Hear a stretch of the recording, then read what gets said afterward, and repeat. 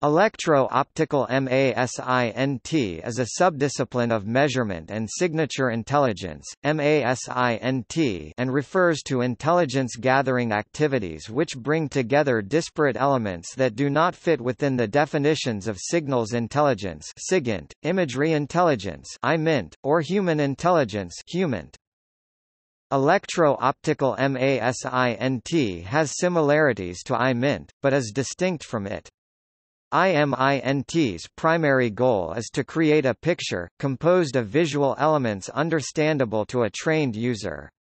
Electro-optical MASINT helps validate that picture, so that, for example, the analyst can tell if an area of green is vegetation or camouflage paint.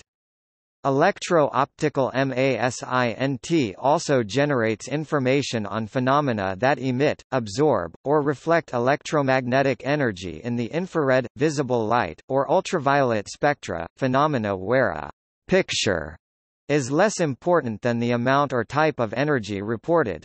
For example, a class of satellites, originally intended to give early warning of rocket launches based on the heat of their exhaust, reports energy wavelengths and strength as a function of locations. There would be no value, in this specific context, to seeing a photograph of the flames coming out of the rocket. Subsequently, when the geometry between the rocket exhaust and the sensor permits a clear view of the exhaust, IMINT would give a visual or infrared picture of its shape, while electro-optical MASINT would give, either as a list of coordinates with characteristics, or a false color image, the temperature distribution, and spectroscopic information on its composition. In other words, MASINT may give warning before characteristics visible to IMINT are clear, or it may help validate or understand the pictures taken by IMINT. MASINT techniques are not limited to the United States, but the U.S. distinguishes MASINT sensors from others more than do other nations. According to the United States Department of Defense, MASINT is technically derived intelligence excluding traditional imagery IMINT and signals intelligence SIGINT that, when collected, processed, and analyzed by dedicated MASINT systems, results in intelligence that detects, tracks, identifies, or describes the signatures distinctive characteristics of fixed or dynamic target sources. MASINT was recognized as a formal intelligence discipline in 1986. Another way to describe MASINT is a non-literal discipline. It feeds on a target's unintended emissive byproducts, the trails of thermal energy, chemical or radio frequency emission that an object leaves in its wake. These trails form distinct signatures, which can be exploited as reliable discriminators to characterize specific events or disclose hidden targets. As with many branches of MASINT, specific techniques may overlap with the six major conceptual disciplines of MASINT defined by the Center for MASINT Studies and Research, which divides MASINT into electro-optical, nuclear, geophysical, radar, materials, and radiofrequency disciplines. MASINT collection technologies in this area use radar, lasers, stereo Staring arrays in the infrared and visual, to point sensors at the information of interest. As opposed to IMINT, MASINT electro-optical sensors do not create pictures. Instead, they would indicate the coordinates, intensity, and spectral characteristics of a light source, such as a rocket engine, or a missile reentry vehicle.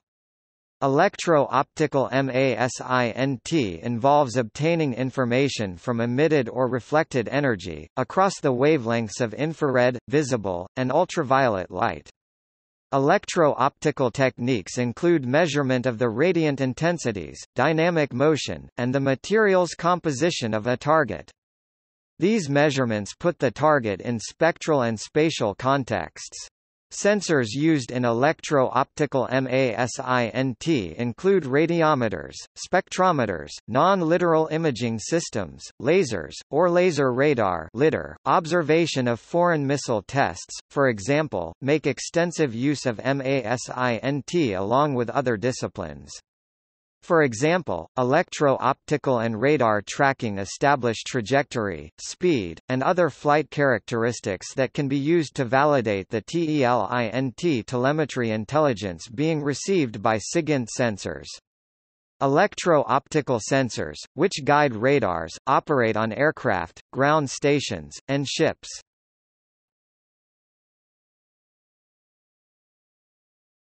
Topic: Airborne Electro-Optical Missile Tracking MASINT USRC-135S Cobra Ball aircraft have MASINT sensors that are, .2 linked electro-optical sensors, the Real-Time Optics System and the Large Aperture Tracker System LATS. RTOS consists of an array of staring sensors encompassing a wide field of regard for target acquisition. LATS serves as an adjunct tracker.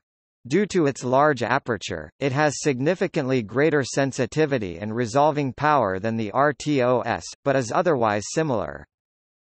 There is a broader program to standardize the architecture of the various RC-135 aircraft, so that there will be greater commonality of parts, and some ability to switch missions. A Cobra Ball will be able to carry out some SIGINT missions of the Rivet Joint RC-135. Cobra Ball cues the Cobra Dane ground radar and the Cobra Judy ship-based radar. See Radar MASINT. Topic: Tactical counter-artillery sensors. Both electro-optical and radar sensors have been coupled with acoustic sensors in modern counter-artillery systems. Electro-optical sensors are directional and precise, so need to be cued by acoustic or other omnidirectional sensors. The original Canadian sensors, in the First World War, used electro-optical flash as well as geophysical sound sensors.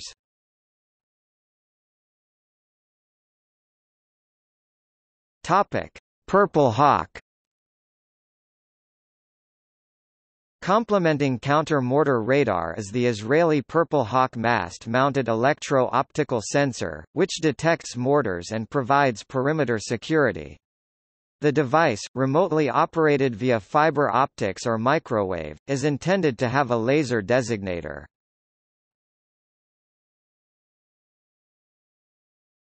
Topic: Rocket Launch Spotter.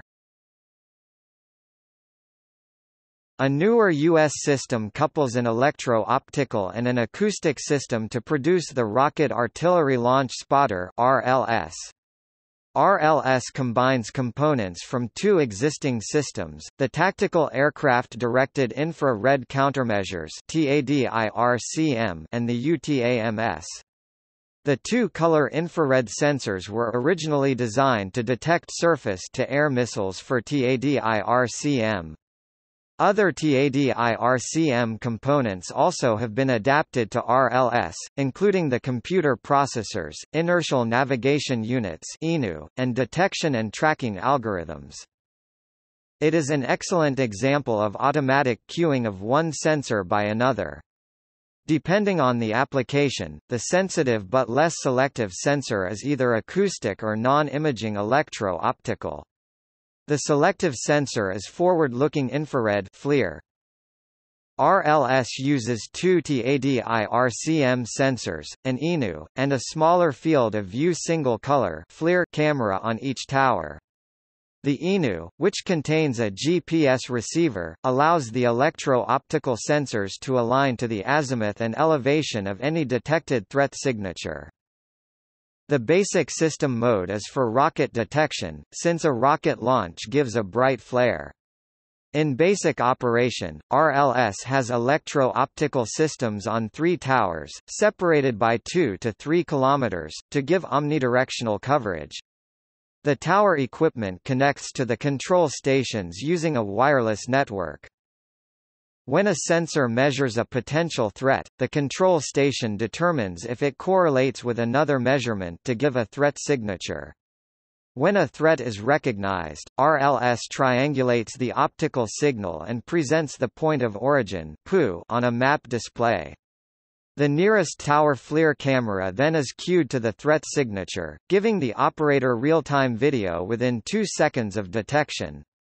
When not in RLS mode, the FLIR cameras are available to the operator as surveillance cameras. Mortar launches do not produce as strong an electro-optical signature as does a rocket, so RLS relies on acoustic signature cueing from an unattended transient acoustic measurement and signal intelligence system UTAMS. There is an UTAMS array at the top of each of the three RLS towers. The tower heads can be rotated remotely. Each array consists of four microphones and processing equipment. Analyzing the time delays between an acoustic wavefront's interaction with each microphone in the array UTAMS provides an azimuth of origin. The azimuth from each tower is reported to the UTAMS processor at the control station, and a PU is triangulated and displayed. The UTAMS subsystem can also detect and locate the point of impact POI, but, due to the difference between the speeds of sound and light, it may take UTAMS as long as 30 seconds to determine the PU for a rocket launch 13 km away. This means UTAMS may detect a rocket POI prior to the PU, providing very little if any warning time, but the electro-optical component of RLS will detect the rocket PU earlier.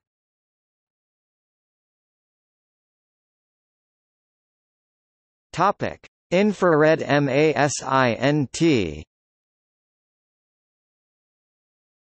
While infrared IMINT and MASINT operate in the same wavelengths, MASINT does not take pictures in the conventional sense, but it can validate IMINT pictures.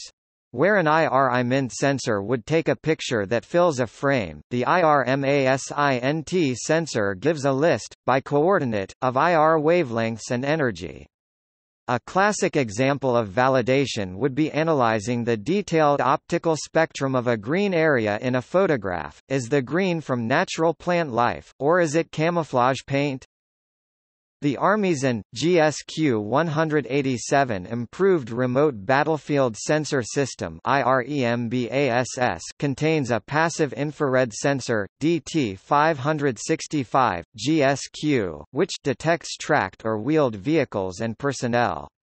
It also provides information on which to base a count of objects passing through its detection zone and reports their direction of travel relative to its location. The monitor uses two different magnetic and passive infrared sensors and their identification codes to determine direction of travel. Shallow water operations require generalizing IR imaging to include a non-developmental thermal imaging sensor system to surface ships with a day, night, high-resolution, infrared IR and visual imaging, and laser range finder capability to augment existing optical and radar sensors, especially against small boats and floating mines.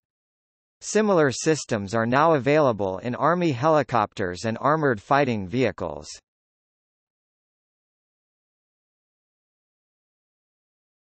Topic: Optical measurement of nuclear explosions.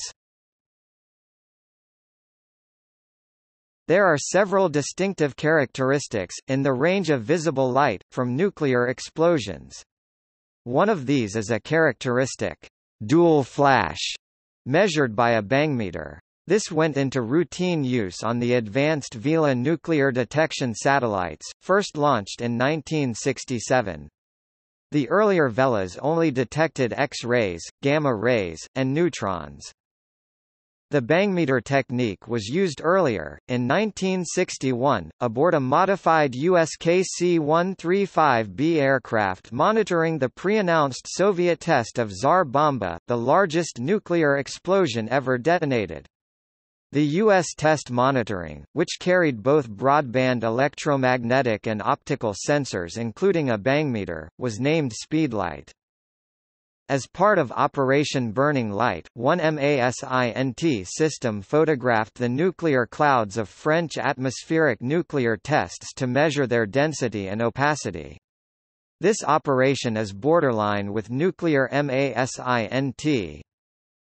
Bangmeters on advanced Vela satellites detected what is variously called the Vela Incident or South Atlantic Incident, on the 22nd of September 1979. Different reports have claimed that it was, or was not, a nuclear test, and, if it was, probably involved South Africa and possibly Israel. France and Taiwan have also been suggested.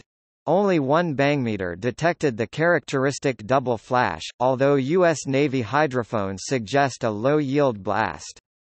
Other sensors were negative or equivocal, and no definitive explanation has yet been made public.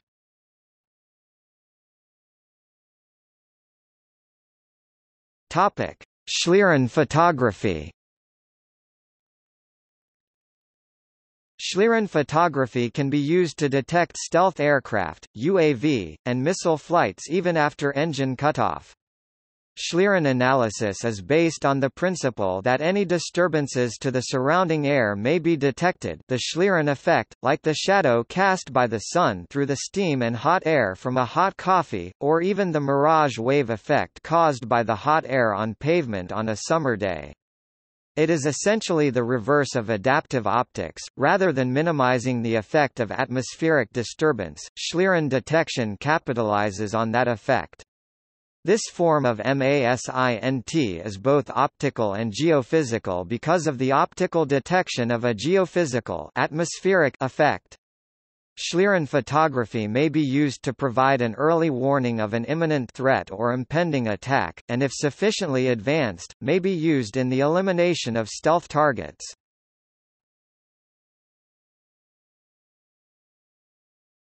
Topic: Laser MASINT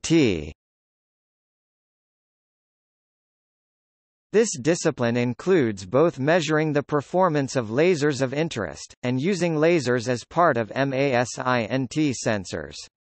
With respect to foreign lasers, focus of the collection is on laser detection, laser threat warning, and precise measurement of the frequencies, power levels, wave propagation, determination of power source, and other technical and operating characteristics associated with laser systems strategic and tactical weapons, range finders, and illuminators. In addition to passive measurements of other lasers, the MASINT system can use active lasers for distance measurements, but also for destructive remote sensing that provides energized material for spectroscopy.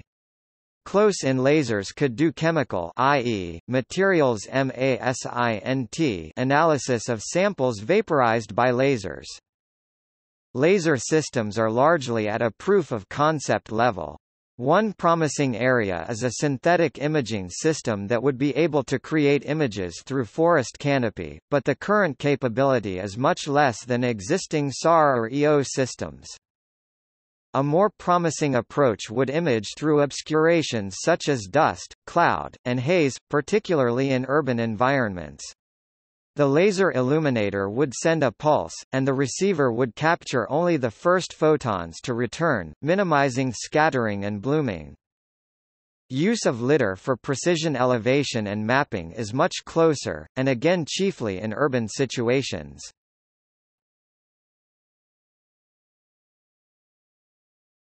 Topic: Spectroscopic MASINT Spectroscopy can be applied either to targets that are already excited, such as an engine exhaust, or stimulated with a laser or other energy source. It is not an imaging technique, although it can be used to extract greater information from images. Where an IMINT sensor would take a picture that fills a frame, the spectroscopic MASINT sensor gives a list, by coordinate, of wavelengths and energy. Multispectral IMINT is likely to discriminate more wavelengths, especially if it extends into the IR or UV, than a human being, even with an excellent color sense, could discriminate. The results plot energy versus frequency. A spectral plot represents radiant intensity versus wavelength at an instant in time. The number of spectral bands in a sensor system determines the amount of detail that can be obtained about the source of the object being viewed. Sensor systems range from multispectral 2 to 100 bands to hyperspectral 100 to 1000 bands to ultraspectral 1000 plus bands. More bands provide more discrete information or greater resolution. The characteristic emission and absorption spectra serve to fingerprint or define the makeup of the feature that was observed.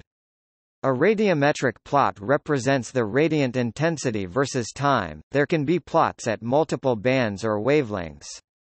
For each point along a time-intensity radiometric plot, a spectral plot can be generated based on the number of spectral bands in the collector, such as the radiant intensity plot of a missile exhaust plume as the missile is in flight. The intensity or brightness of the object is a function of several conditions including its temperature, surface properties or material, and how fast it is moving. Remember that additional, non-electro-optical sensors, such as ionizing radiation detectors, can correlate with these bands. Advancing optical spectroscopy was identified as a high priority by a National Science Foundation workshop in supporting counter-terrorism and general intelligence community needs. These needs were seen as most critical in the WMD context. The highest priority was increasing the sensitivity of spectroscopic scanners, since, if an attack has not actually taken place, the threat needs to be analyzed remotely. In the real world of attempting early warning, expecting to get a signature of something, which is clearly a weapon, is unrealistic. Consider that the worst chemical poisoning in history was an industrial accident, the Bhopal disaster. The participants suggested that the Intelligence community must exploit signatures of feedstock materials, precursors, byproducts of testing or production, and other inadvertent or unavoidable signatures. False positives are inevitable, and other techniques need to screen them out. Second to detectability, as a priority was rejecting noise and background. It is especially difficult for biowarfare agents, which are the greatest WMD challenge to detect by remote sensing rather than laboratory analysis of a sample. Methods may need to depend on signal enhancement, by clandestine dispersion of reagents in the area of interest, which variously could emit or absorb particular spectra. Fluorescent reactions are well known in the laboratory, could they be done remotely and secretly? Other approaches could pump the sample with an appropriately tuned laser, perhaps at several wavelengths. The participants stressed that the need to miniaturize sensors, which might enter the area in question using unmanned sensors, including miniaturized aerial, surface, and even subsurface vehicles. Electro-optical spectroscopy is one means of chemical detection, especially using non-dispersive infrared spectroscopy as one MASINT technology that lends itself to early warning of deliberate or actual releases. In general, however, chemical sensors tend to use a combination of gas chromatography and mass spectrometry, which are more associated with materials MASINT. See chemical warfare and improvised chemical devices.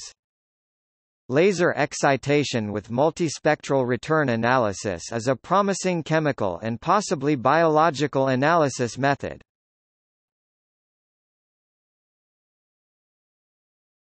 Topic: Multispectral MASINT SYERS-2, on the high-altitude U-2 reconnaissance aircraft, is the only operational airborne military multi-spectral sensor, providing seven bands of visual and infrared imagery at high resolution.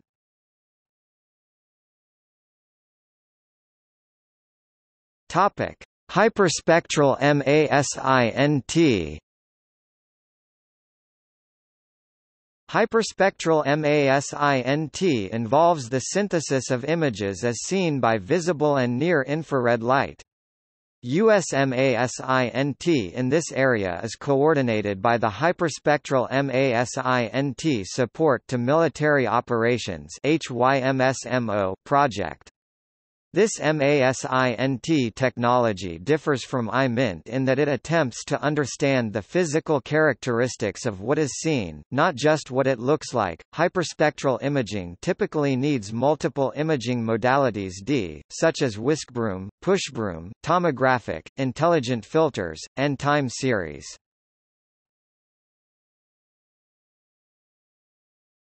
Topic: Design issues. Some of the major issues in visible and infrared hyperspectral processing include atmospheric correction, for the visible and short-wave infrared, 0.4 to 2.5 micrometer dictate sensor radiances need to be converted to surface reflectances. This dictates a need for measuring, and connecting for atmospheric absorption and scattering aerosol optical depth water vapor correction for the effect of bi-directional reflectance distribution function blurring due to the adjacency effect and retrieval of reflectance in shadows, hyperspectral, as opposed to multispectral. Processing gives the potential of improved spectral signature measurement from airborne and spaceborne sensor platforms. Sensors on these platforms, however, must compensate for atmospheric effects. Such compensation is easiest with high-contrast targets sensed through well-behaved atmosphere with even, reliable illumination. The real world will not always be so cooperative. For more complicated situations, one cannot simply compensate for the atmospheric and illumination conditions by taking them out. The invariant algorithm for target detection was designed to find many possible combinations of these conditions for the image.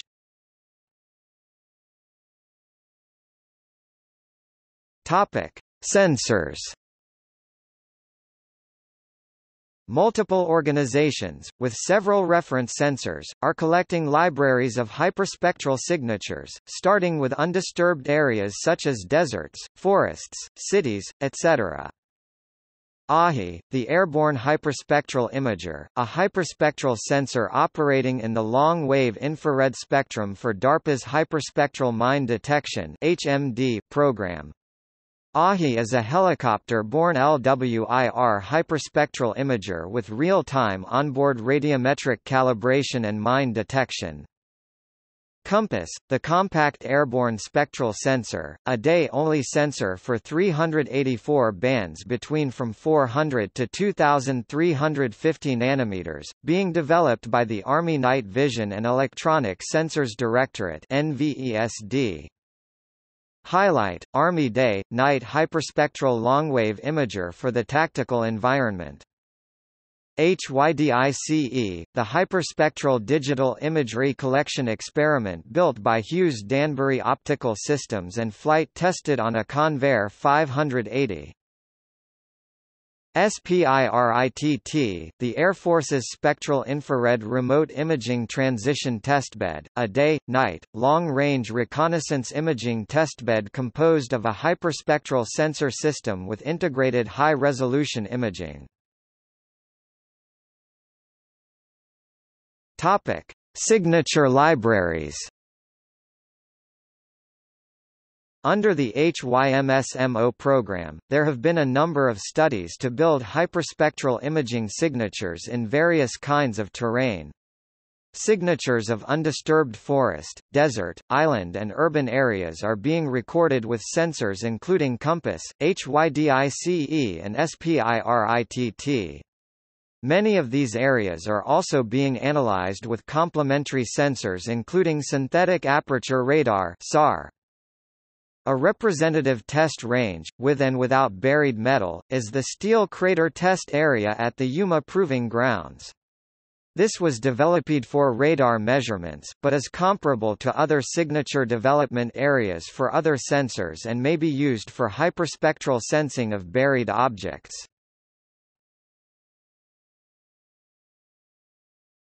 Topic: Applications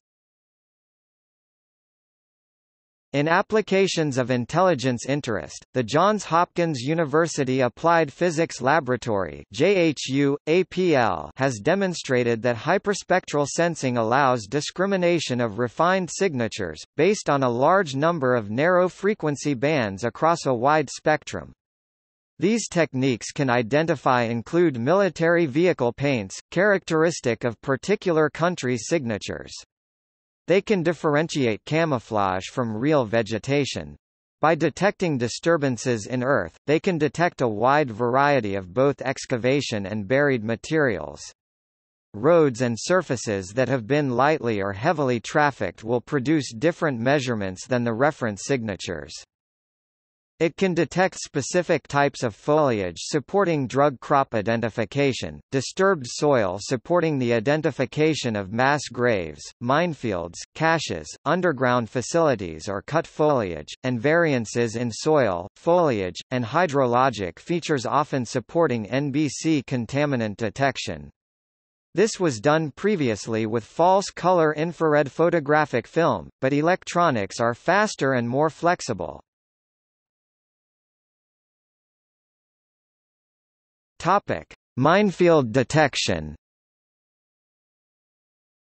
JHU, APL target detection algorithms have been applied to the Army Wide Area Airborne Minefield Detection WAAMD program's desert and forest. By using the COMPASS and AHI hyperspectral sensors, robust detection of both surface and buried minefields is achieved with very low false alarm rates. Topic: Underground construction. Hyperspectral imaging can detect disturbed earth and foliage. In concert with other methods such as coherent change detection radar, which can precisely measure changes in the height of the ground surface. Together, these can detect underground construction. While still at a research level, gravimetric MASINT can, with these other MASINT sensors, give precise location information for deeply buried command centers, WMD facilities, and other critical target. It remains a truism that once a target can be located, it can be killed. Bunker buster Nuclear weapons are not needed when multiple precision-guided bombs can successively deepen a hole until the no longer protected structure is reached. Topic: Urban spectral target detection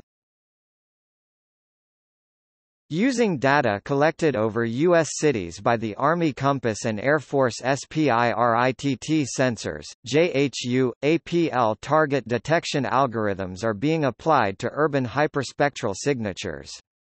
The ability to robustly detect unique spectral targets in urban areas denied for ground inspection, with limited ancillary information will assist in the development and deployment of future operational hyperspectral systems overseas. Topic: Mass graves. Peace operations and war crimes investigation may require the detection of often clandestine mass graves. Clandestinity makes it difficult to get witness testimony, or use technologies that require direct access to the suspected grave site e.g., ground-penetrating radar. Hyperspectral imaging from aircraft or satellites can provide remotely sensed reflectance spectra to help detect such graves. Imaging of an experimental mass grave and a real-world mass grave show that hyperspectral remote imaging is a powerful method for finding mass graves in real time, or, in some cases, retrospectively. Topic. Ground order of battle target detection JHU, APL target detection algorithms have been applied to the HYMSMO desert and forest libraries, and can reveal camouflage, concealment and deception protecting ground military equipment. Other algorithms have been demonstrated, using HYDICE data, that they can identify lines of communication based on the disturbance of roads and other ground surfaces. Topic: Biomass estimation. Knowing the fractions of vegetation and soil is of helps estimate the biomass. Biomass is not extremely important for military operations, but gives information for national-level economic and environmental intelligence. Detailed hyperspectral imagery such as the leaf chemical content nitrogen, proteins, lignin and water can be relevant to counterdrug surveillance.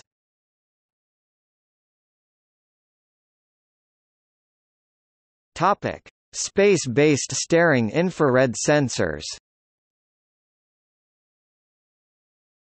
The U.S., in 1970, launched the first of a series of space-based staring array sensors that detected and located infrared heat signatures, typically from rocket motors but also from other intense heat sources.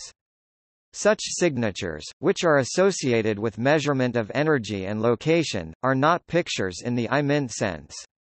Currently called the Satellite Early Warning System the program is the descendant of several generations of Defense Support Program DSP spacecraft. The USSR, Russian USKMO spacecraft has been described, by U.S. sources, as having similar capabilities to DSP. Originally intended to detect the intense heat of an ICBM launch, this system proved useful at a theater level in 1990–1991. It detected the launch of Iraqi Scud missiles in time to give early warning to potential targets.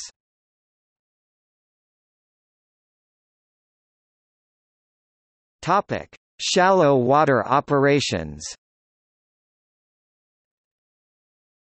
Several new technologies will be needed for shallow water naval operations. Since acoustic sensors i.e., passive hydrophones and active sonar perform less effectively in shallow waters than in the open seas, there is a strong pressure to develop additional sensors. One family of techniques, which will require electro-optical sensors to detect, is bioluminescence, light generated by the movement of a vessel through plankton and other marine life. Another family, which may be solved with electro-optical methods, radar, or a combination, is detecting wakes of surface vessels, as well as effects on the water surface caused by underwater vessels and weapons.